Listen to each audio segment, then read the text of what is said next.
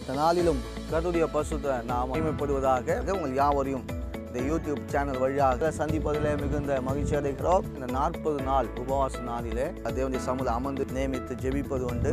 நாங்கள் உங்களுக்காக யூடியூப் சேனலில் ஒரு விசேஷமான காரியங்களை செய்ய வேண்டும் என்று விரும்பி நம்முடைய வேத புத்தகத்தை பார்த்தீங்கன்னா அது அறுபத்தாறு புத்தகங்கள் உண்டு. இந்த அறுபத்தாறு புத்தகங்களை நாற்பது ஆக்கியோன்கள் சேர்ந்து இந்த புத்தகத்தை எழுதியிருக்கிறாங்க. அந்த நாற்பது பேரை குறித்து தான் தினந்தோறும் நாம் இந்த நாற்பது நாள் அளவும் வேதத்தில் முக்கியமான நிகழ்வுகளை குறித்து நாம் வாசித்து அதை எப்படி வாசிக்க வேண்டும் அதில் இருக்கிற முக்கியமான நிகழ்வுகள் என்ன? நான் உங்களோடு கூட இந்த நாற்பது நாளும் பகிர்ந்து கொள்ள விரும்புகிறேன். நாம் திட்டமாய் அறிந்து கொள்வதற்கு கத்த நமக்கு உதவி செய்வாராக. கத்ததான் உங்களை ஆஸ்வதிப்பாராக ஆமே கத்தருடைய பசுத்த நாமம் மகிமைப்படுவதாக ஆண்டவராகிய இயேசு கிறிஸ்துவின் இனிய நாமத்தினாலே உங்களை யாவரையும் வாழ்த்துகிறேன். இந்த பதினைந்தாவது நாளுக்குள்ளே கர்த்தர் நம்மை கொண்டு வந்திருக்கிறார். இது தேவனுடைய பிரிதான கிருபை நமக்கு கர்த்தர் கொடுத்திருக்கிறார். இந்த நாளிலே நாம் பார்க்க போகிற எழுத்தாளர் சாலமோன் என்கிற எழுத்தாளரை குறித்து நாம் இன்றைக்கு நாம் பார்க்க போகிறோம். சாலமோன் மூன்று புத்தகங்களை எழுதியிருக்கிறார். நீதிமொழிகள் புத்தகம். அதில் முப்பத்தி ஒரு அதிகாரம் இருக்கிறது. தொள்ளாயிரத்தி பதினைந்து வசனங்கள் அதில் இருக்கிறது.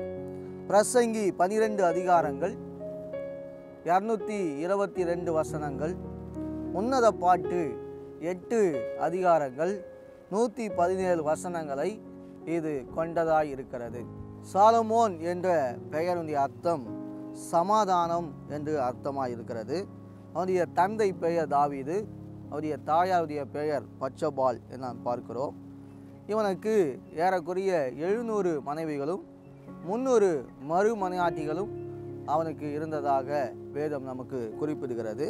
அது மாத்திரமல்ல இவனுடைய பட்ட பெயர் என்ன என்று சொன்னால் பெரிய ஞானி பெரிய பணக்காரன். இந்த உலகத்திலேயே மிகப்பெரிய ஒரு ஞானியாக அது மாத்திரமல்ல பெரிய பணக்காரனாக இப்போது நம்ம எல்லாம் சொல்கிறோம் நம்பர் ஒன் பணக்காரன் பில்கேட்ஸ் என்றெல்லாம் நாம் சொல்லி கொண்டிருக்கிறோம்.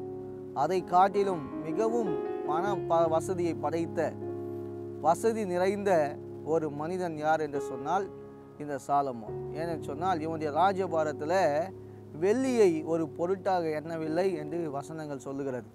அப்படி என்று சொன்னால் இவனைப் போல ஒரு பெரிய பணக்காரன் இதுவரையிலும் பூமியிலே பிறந்ததும் இல்லை பிறக்கப் போவதும் இல்லை ஏனென்று சொன்னால் இவன் ஆண்டவரத்தில் கேட்ட பொழுது ஆண்டவரே இந்த ஜனங்களை நடத்துவதற்கு எனக்கு ஞானத்தை கொடும் என்று சொல்லி கேட்ட பொழுது ஆண்டவராகிய தேவன் ஞானத்தை மாத்திரமல்ல அவனுக்கு ஐஸ்வர்யத்தையும் நான் உனக்கு கொடுப்பேன் என்று கத்த சொல்லி அவனுக்கு கொடுத்தான். அப்படிப்பட்ட ஆசீர்வாதங்களை பெற்றவனாக அப்படிப்பட்ட ஒரு மிகுந்த ஒரு உயர்ந்த மனிதனாக இந்த சாலமோன் வாய்ந்ததாக நாம் பார்க்க முடியும்.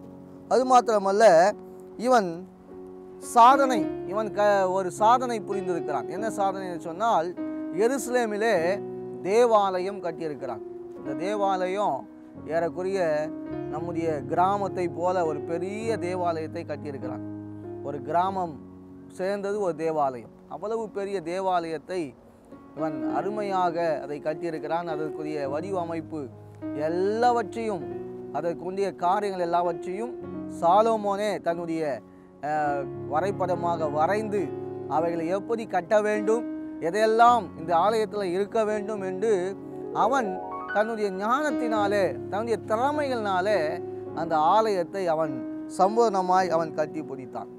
அது மாத்திரமல்ல இவனுடைய வாழ்க்கையில் நாம் பார்க்கிற பொழுது இவனுடைய மறுமணியாட்டிகள் இவனுடைய மனைவிகள் எல்லாம் சேர்ந்து இவனை வழிவிலகி போகும்படியாக அந்நிய தேவர்களை பின்பற்றும்படியாக இவன் தன்னுடைய காரியங்களை வெளிப்படுத்தினான் என்று நாம் பார்க்கிறோம்.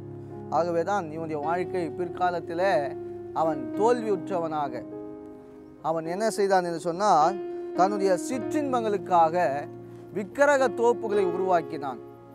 தன்னுடைய ஆசைக்காக தன்னுடைய மனைவிகளுக்காக அவர்கள் சொல்லுகிற வார்த்தையின்படி அவன் கேட்டு அவன் தேவாலயத்துக்கு மாறாக எப்படி அவன் தேவாலயத்தை கட்டினானோ அதே போல விக்கிரக தோப்புகளையும் அவன் கட்டினான் என்று நாம் பார்க்க முடியும்.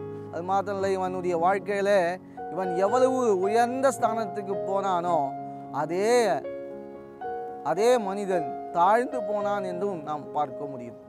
ஆகவே இவன் உயர்த்தப்பட்ட நிலையிலிருந்து அவன் தேவனை விட்ட பொழுது தாழ்மையான நிலைக்கும் கர்த்தர் அவனை தள்ளினார் என்று நாம் பார்க்கிறோம். அவனுடைய மகனாகிய இருக்கிற ரெகேபையாமுடைய காலத்தில் பார்த்தீங்கன்னா ராஜ்யம் ரெண்டாக பிரிக்கப்பட்டது. காரணம் என்னன்னு சொன்னால் இவன் செய்த பாவத்தின் நிமித்தமாக விக்கிரக தோப்புகள் நிமித்தமாக கர்த்தர் அப்படிப்பட்ட காரியங்களை அவனுடைய வாழ்க்கையில் ஏற்படுத்தினா நாம் பார்க்கிறோம். அது மாத்திரம் இல்லை நாம் பார்க்கிறோம் நீதிமொழிகள் புத்தகம். நீதிமொழிகள் புத்தகத்தில் என்ன இருக்கிறது என்று சொன்னால் நீதி போதனைகளுக்குரிய வார்த்தைகள்.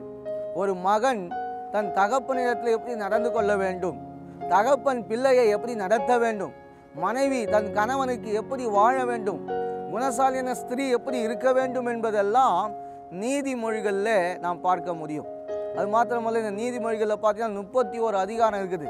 இந்த முப்பத்தி ஒரு அதிகாரங்களை நம்முடைய பிள்ளைகளுக்கு ஞானத்தை போதிப்பதற்காக ஞானத்தை கற்றுக்கொள்வதற்காக தினமும் ஒரு அதிகாரத்தை நீதிமொழிகள் புத்தகத்தை வாசிக்க வேண்டும் என்று நம்முடைய பிள்ளைகளுக்கு ஞானம் கிடைக்க வேண்டும் என்று நாம் அதை படிக்க வைப்போம். அடுத்தபடியாக பார்த்தீங்கன்னா பிரசங்கின் புத்தகம் பன்னிரெண்டு புத்தகங்கள் இருக்கிறது. இது பன்னிரெண்டு மாதங்களுக்குரிய ஒரு புத்தகம். என்று சொன்னால் ஒவ்வொரு காரியங்களை பார்த்தீங்கன்னா உலகத்தில் எல்லாம் மாயை. இந்த உலகத்தில் வரை வந்திருக்கிற காரியங்கள் எல்லாம் மாயையான காரியம். எல்லாவற்றுக்கும் காலம் உண்டு நேரம் உண்டு என்பதெல்லாம் பிரசங்கி தன்னுடைய வேத புத்தகத்தில் எழுதி வைத்திருக்கிறார். அது மாத்திரம் வாலிபனே உன் உன் வ- வயதில் கத்தரை நினைக்க வேண்டும். கத்தர் தான் எல்லாவற்றிலும் நீ கத்தரத்தில் வந்து சேர்ந்து பார்த்து கொள்ள வேண்டும் என்று அவன் எழுதியிருக்கிறதை நாம் பார்க்க முடியும். அது பார்த்தோம்ல உன்னத பாட்டு என்கிற புத்தகம் தேவனுக்கும் மனுஷனுக்கும் உள்ள உறவு. தேவன் மனவாட்டியாக நாம் மனவாளனாகிய இயேசுவை சந்திப்பதற்கு நாம் எப்படி இருக்க வேண்டும்? ஒரு காதலன் ஒரு காதலியோடு கூட எப்படி இருக்கிறார்கள்? அதுபோல இயேசு கிறிஸ்துவோடு கூட நாம் இருக்க வேண்டும் என்று நமக்கு கற்றுக் கொடுத்த புத்தகம் தான் உன்னத பாட்டு. ஆகவே நீதிமொழிகள் பிரசங்கி உன்னத பாட்டு. இந்த மூன்று புத்தகங்களை சாலமும் நமக்காய் கொடுத்திருக்கிறார். மூன்றும் மூன்று முத்துக்களாக நம்முடைய கைகளில் இருக்கிறது. அதை வாசிப்போம். கத்தருக்கு ஏற்ற விதமாய் நாம் வாழ்வோம். கத்தர் நம்மை ஆஸ்வதிப்பாராக. ஆமேன்.